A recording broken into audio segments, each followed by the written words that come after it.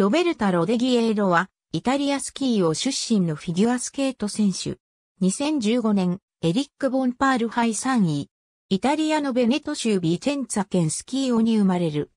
同県内のアジア語で育ち、8歳の時にカルロ、トゥーマレロに指示して、スケートを始める。13歳の時、ガブリエレ・ミンチョの指導を受けるために、週3回トレントへ通うようになり、16歳の時に単身トレントへ引っ越す。2007から2008シーズンからフランカ・ビアンコニに指示。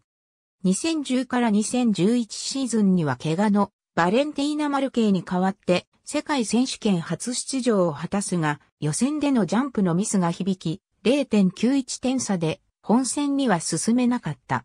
2015から2016シーズンにはグランプリシリーズに出場。エリック・ボンパール杯は FS は中止となったが SP で3位となり銅メダルを獲得した。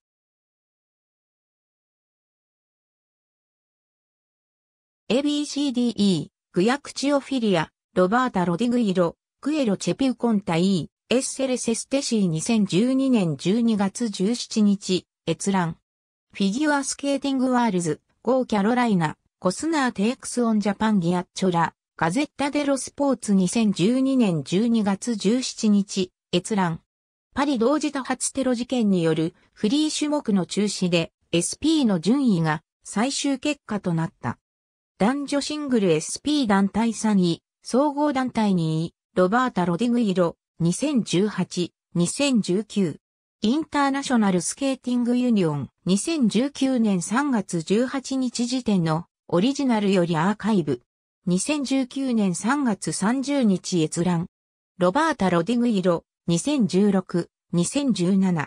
インターナショナルスケーティングユニオン2017年5月29日時点のオリジナルよりアーカイブ。2019年3月30日閲覧。ありがとうございます。